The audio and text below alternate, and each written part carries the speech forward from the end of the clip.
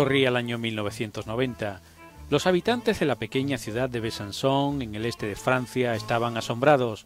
Uno de sus vecinos, un anciano de 83 años, Monsieur Lorraine, se convirtió de la noche a la mañana en una celebridad nacional.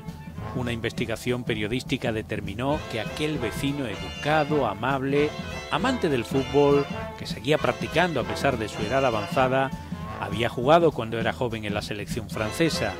Más aún, aquel venerable anciano fue el autor, una lejana tarde del año 1930, del primer gol de la historia de los mundiales de fútbol. El partido comenzó normal. Ambos equipos luchaban por el balón. De pronto, Delfort atacó por la derecha y pasó a Liberati que centró.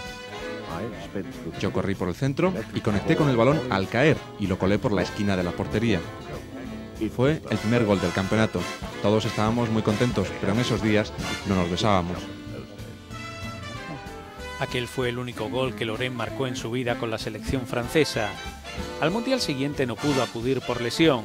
Después llegó la guerra en la que combatió como soldado. En 1942 fue hecho prisionero y pasaría tres años en un campo de concentración. Tras la guerra siguió jugando al fútbol. Después llegó un largo olvido del que lo rescató la dimensión monstruosa que adquirió el fútbol con el final del siglo XX. Lucien Loren siguió jugando hasta pasados los 90 años. Falleció con casi 100 en 2005, feliz de haber visto reconocida aquella hazaña remota del 13 de julio de 1930 en el Estadio de Pocitos, Montevideo, en la República Oriental del Uruguay.